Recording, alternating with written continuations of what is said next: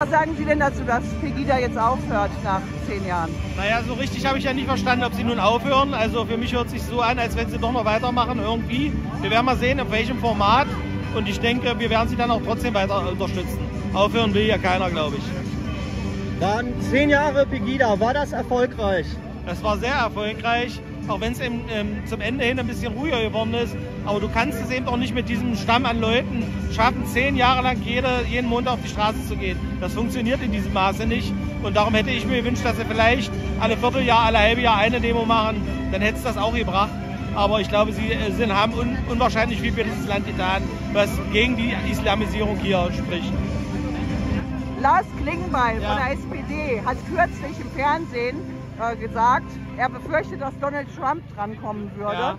Und dass es dann zu einer Lösung mit Putin kommen könnte. Und da hat er Sorge vor. Was sagen Sie dazu? Ja, ja, ich habe da keine Sorge für. Ich würde mich freuen, wenn das so kommt, dass der äh, Trump praktisch genauso weitermacht, wie er eigentlich damals auch angefangen hat.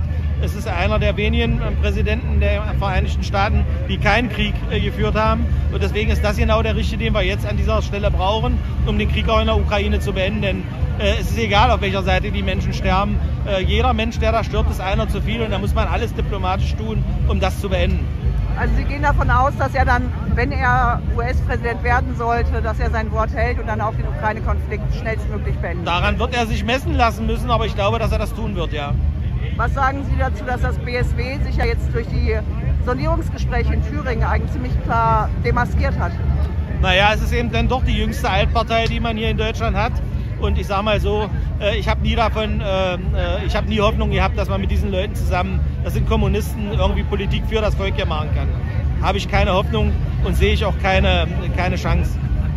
Denken Sie denn, dass es machbar ist, bei den nächsten Wahlen oder vielleicht ja, nächstes Jahr, denke ich nicht, aber vielleicht auch bei den anderen Landtagswahlen, dann eben so eine Mehrheit zu bekommen, wie es beispielsweise im Saarland bei der SPD war, die kann ja alleine regieren, ohne Koalitionspartner, weil sie einfach so viele Stimmen erhalten. Ja, das ist richtig. Das ist ja genau das, worauf wir hinarbeiten. Ich sage mal, die Bürger werden sich das auch nicht gefallen lassen. Die Bürger haben jetzt erlebt, dass sie wieder eine starke AfD gewählt haben, es wieder nichts passiert und irgendwann wird das nachher so viel, äh, werden so viele Prozente werden, dass wir die Mehrheit im Landtag haben und dann werden wir das einfach alleine machen, was ja auch richtig ist. Ich will nicht mit CDU-Leuten zusammen regieren, die das ganze Theater, was wir hier auf den Straßen haben, mit zu verantworten haben. Das ist nicht mein Koalitionär. Meine Koalition sind die Bürger aus der Souverän dieses Staates. Für die mache ich Politik und am besten alleine.